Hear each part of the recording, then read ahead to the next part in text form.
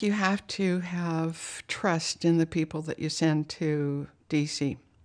I wish people would know the Dave that I know. He's a man with deep integrity and an emotion for the rights of people who oftentimes don't see those those rights. My family and I had uh, suffered a personal tragedy, and I met him when he was a detective working for the King County Sheriff's Office. He has always, always made us feel like we were the most important people to him. It was more than I had ever expected.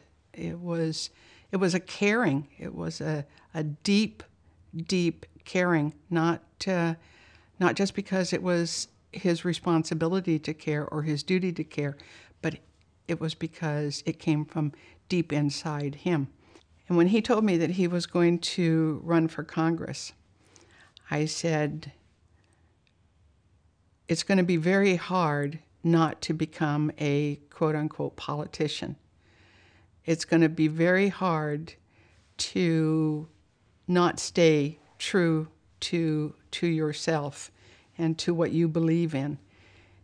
And I said, just promise me that you won't become jaded, you won't become cynical, that you will keep the ideas that that motivate you to to run for Congress and to keep the integrity of those ideas pure so that you will truly be the kind of representative that your district um, expects of you and that um, and that the rest of us who know you expect of you. When he tells you that you're going to be okay, that he's he's not a he's not a fortune teller. He's not looking into some crystal ball and trying to shine you on. He's he's telling you what he believes and he will do everything that he can to make that happen.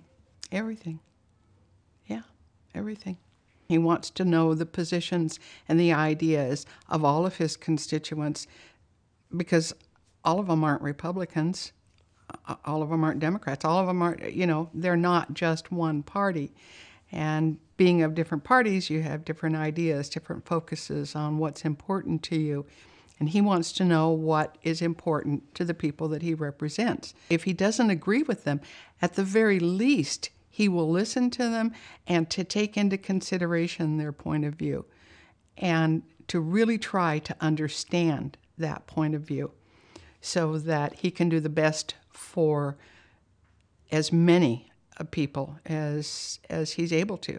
Uh, granted, there are some people that just aren't going to agree with him or even find fault with his decisions but they can't find fault with the integrity that brought upon those decisions because that's always true with Dave. It's always true.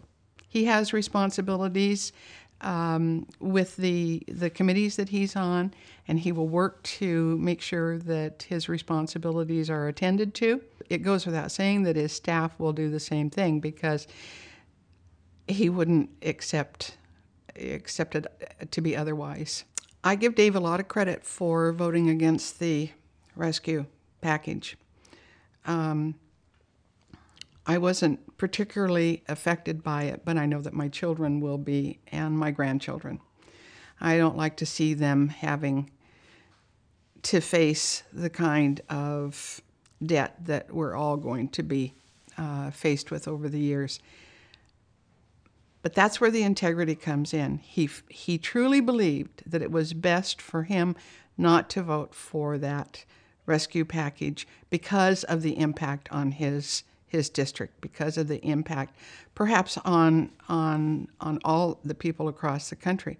For the people that he represents, they couldn't ask for a, for a finer representative. They couldn't ask for a better person because he's willing to to listen to everybody's opinion. He has deep seated beliefs. He's true to his beliefs. And in that respect, he's true to the people that he represents. I just couldn't think of a finer person to be uh, a, a congressman from the 8th District. He understands why he was sent to to Washington, D.C. in the first place. And he's willing to do whatever it takes to make sure that those constituents know that he is working for them.